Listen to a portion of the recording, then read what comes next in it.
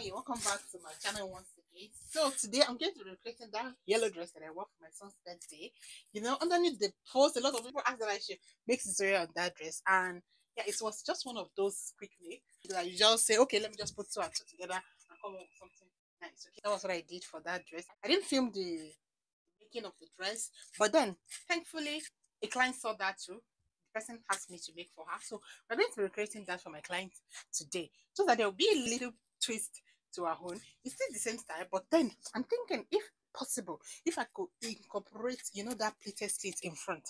Because I don't think she would like to have an open slit in front. I don't know. I'm just thinking. So I might I might put the pleating slit in front. I'm I'm still thinking. I don't know how possible or how feasible that is gonna be, but I'll just see if it will work. I'll do it. If otherwise, then I'll just I'll just stick to the original style. So that's just going to be the little difference between mine and this one that we're going to be creating. I think this one is more fun. So let's get into it. So for this style today, I'm going to be using four yards of this lace fabric and also you use your black material for the collar area. For this black material, you can use Duchess satin, you can use satin itself, you can use raw silk, you can even use Ankara, depends on the look you're looking out for. Doesn't really matter whether it's plain or it's not plain, just be creative with it. But I'm sticking to the original style, which is black. So I use black satin. Uh, I use black Duchess satin, but you can just use our regular satin, you know, that doll face, you know, stuff like that. But I'm using Duchess satin. So you fold your fabric into two.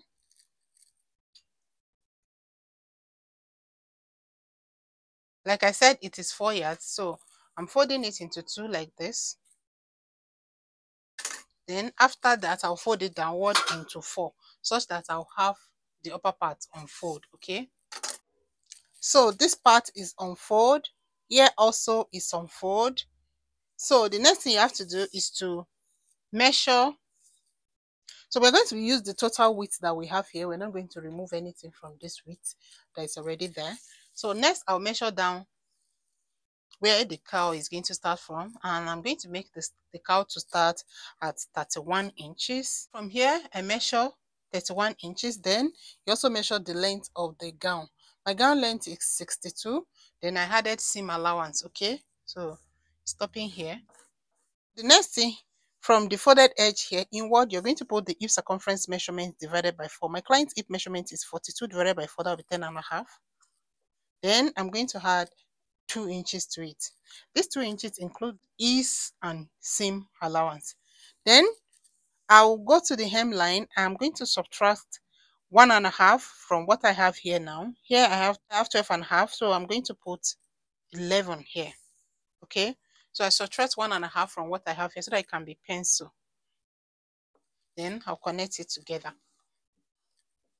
Then the next thing I'm going to do is just to create the the curve, the cowl effect. Can you see?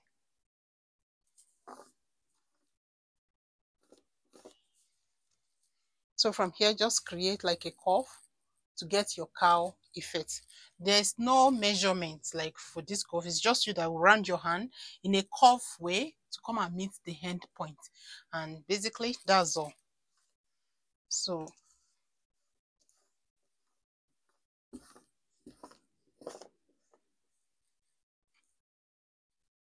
So the next thing I'm going to do is to put the neckline.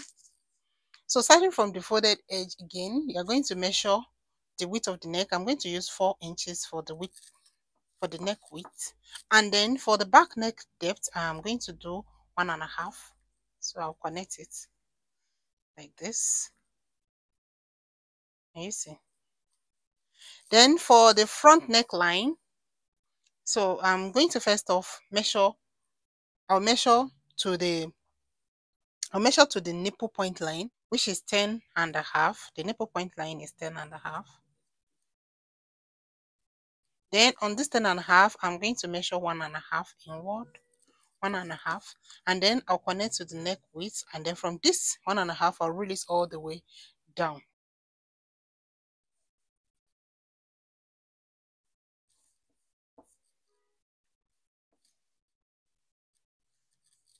First off, I'll cut the back neckline. like this. Can you see? Then I'll cut the shape out also.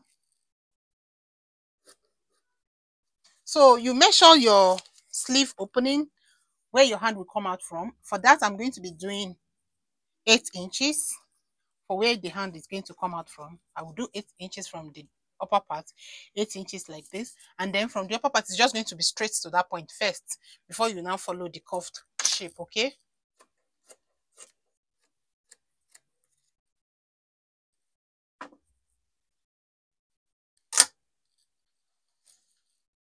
We are done cutting cutting it out so the first thing i'm going to do now before i can cut the front the way my fabric is folded i have the front on top. Like the first two is going to be the front. Can you see? The first two will be the front while the last two is going to be the back the way it's folded. You know i first fold it like this before bending it downward such that you know this place now we have two piece that is on fold here is on fold here is also on fold do you understand? Then the all of this place is on fold so the first two now this first two is going to be the front. So i will just remove the back from it. So the last two is going to be the back right? So it's just going to be like this.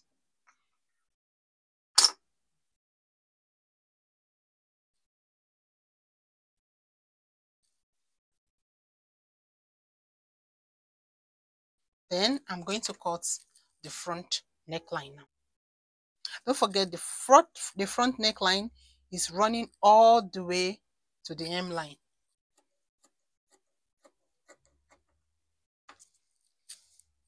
Can you see?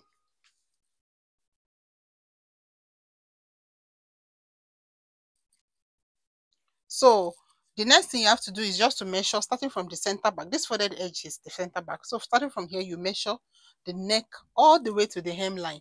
Whatever you get, that's what you're going to be using to cut out the strap. And you know it's into two now. So if I measure now, if I have, let me just measure. So after measuring, I got 67 inches and you're going to be multiplying that 67 by 2 because the fabric is into two fourths, obviously. So let's I'm going to be cutting out what I'll use to create the collar and for that it's going to be a straight something. It's going to be 5 inches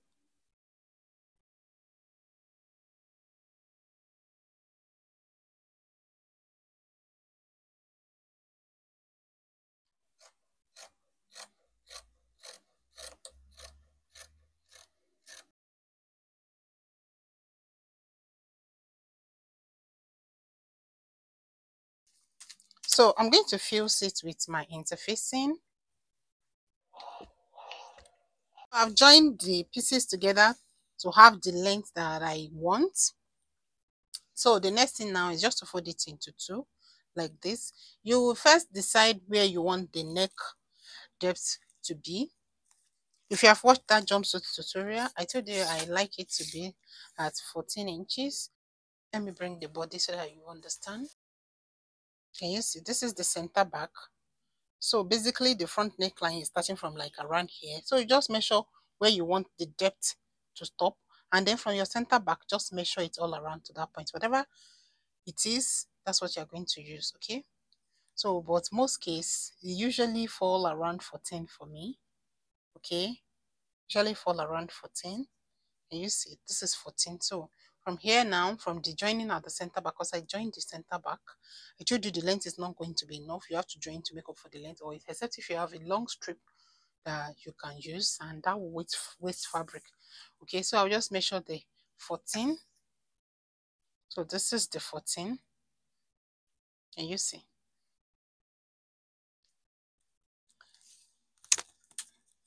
Or you can just use C from the center back, just place it on it like this and trace it to where the neck will stop.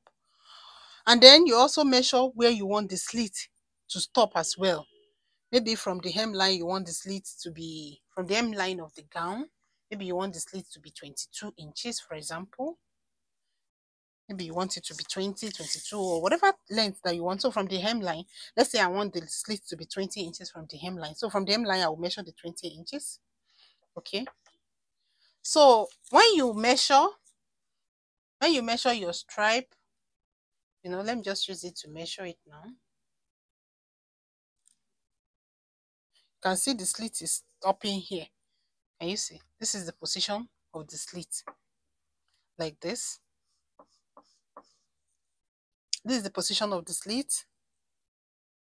So from the from here to here is the neck opening right? Then it's folded into two don't forget. I already joined it long and then i fold it back into two. This is going to be the center back of the collar. You can see it's a strip just a long strip of fabric okay? So this is going to be the center back. So from that center back you make sure the neck depth how you want how low you want it to be. So we've marked it. So from here now you sew at the middle of this panel. It's already placed together. Make sure you locate the center of the panel and you sew at the center all the way to where you want your slit to be in front okay? Whatever you want your slit to be that's where you are going to stop. I want to try something new. Fold the collar into two equal half and you iron it so that you can locate the center of the collar. Then after that bend half inch inside like this. I bend half inch inside because i told you i want to try something new okay? Like i i want it to be i don't want i don't want to weave i want it to be very neat like you know the way we used to sew the collar that you not see the sewing that's what i intend doing with this so first of all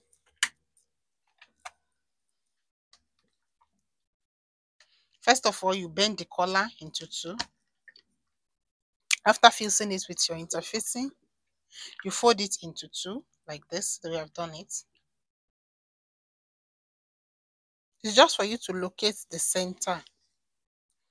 Okay, once you are able, once you iron it, you can fix it directly like this. That's the way we have been doing it in most of the tutorials. But this one, I want us to do something very neat like we have to practice something new once you locate the center center of the collar like this i'm going to fold half inch i'll fold half inch in like this and i'll iron it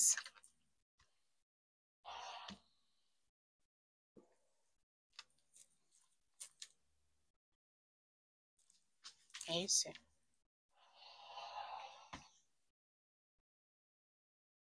So just bend half inch inward and iron, okay? Then you now take to your machine, you sew this other side. When you are done, you top stitch this part, okay?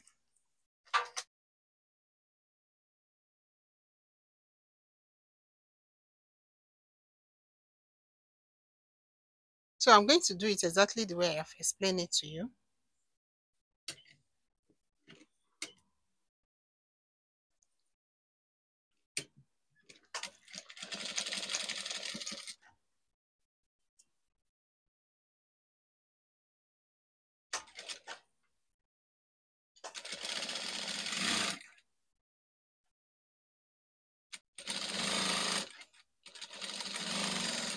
So this is the position where I mark where the slit is going to stop.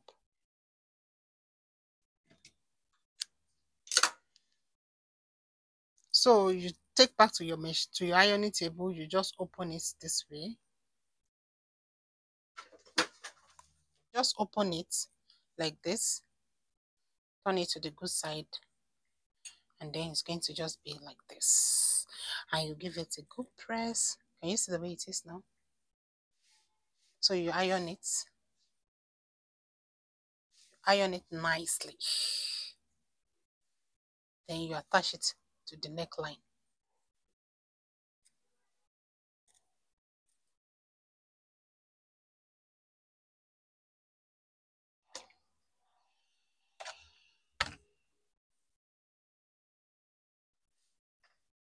Okay, so I've opened up the bubu. This is the center back. This is the center of the back neckline. So I will just match this joining together. And this is the wrong side of the dress. So the center back joining, I'm going to just align it together like this. Open it up, mash up the joining together, you pin, then you sew all the way to the right and also all the way to the left. When you are done, will top stitch this other side that you've used your iron to bend to the good side. You see the way we are going to do it on the sewing machine.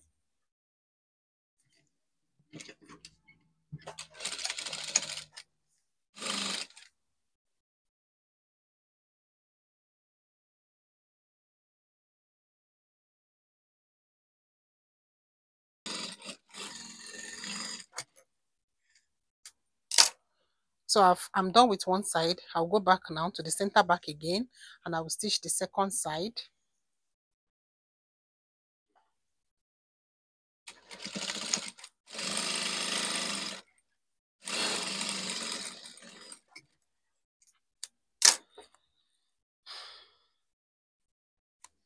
You can see I'm done attaching it to the neckline. So the next thing now is just to turn the collar to the good side and then you top stitch the collar. So attach one side of the collar. The next thing now is just to push all your seam allowance inward and you top stitch on the collar. So from the wrong side, see the wrong side, see how neat it is from the wrong side.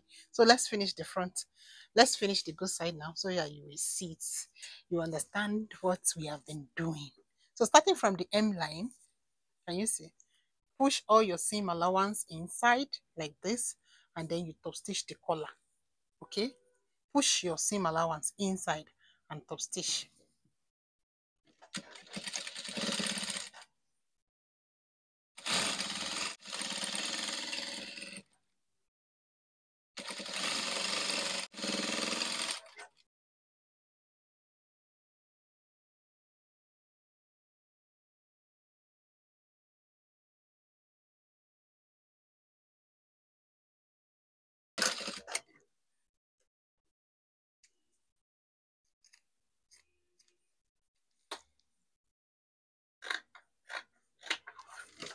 So I'm done. The next thing is just to close the side. You can see it's neat from the this the good side is very neat. Can you see? And then the wrong side also is neat. That's what I was trying to achieve so that we don't have to weave it. This is the wrong side. You can see how neat it is. Can you see? It's neat. There's no seam allowance showing both on the good side and on the wrong side. Can you see? So when you are top stitching this, you may just go to your iron table, tuck in hemming gum, iron it flat first before you just come back and run your stitch instead of top stitching directly. If you if you put hemming gum, it will be a lot easier for you. I didn't think of that. I would have told you to do that before I stitch, but because you know this is what I do on a daily basis, I'm already used to it, whether I put hemming gum or not. So you can just put hemming gum first and iron before you come around the last stitch on it okay? So the last thing now is just to close the side. So i want to put that slit. So if it's only slit you want this is how it's going to look and it's already given like just the way i have mine. Can you see? Can you see your slit? You already have your slit in front if it's slit you want.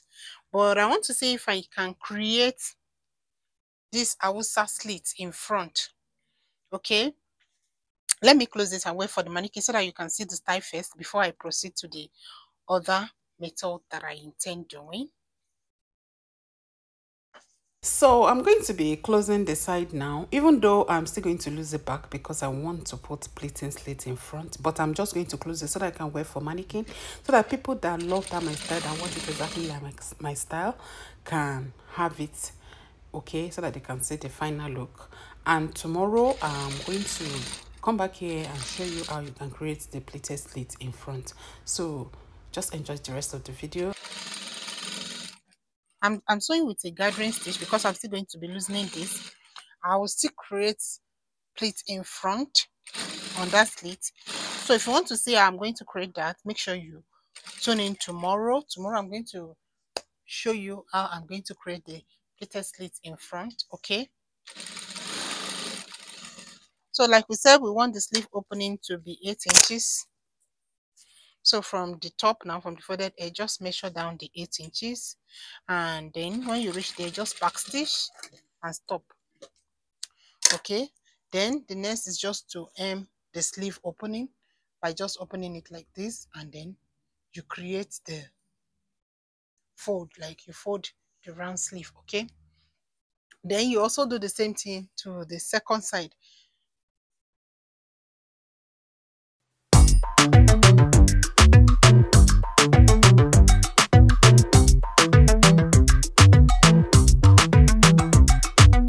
been making moves like a ninja. I can play it cool like I'm winter. I can make it rain like a cash tsunami. Wanna slip and slide, we can link up. Working all the time, make it duller. Be a student, try to make a dollar. Wanna live life like I'm on vacation. Gotta get those good vibrations. Oh,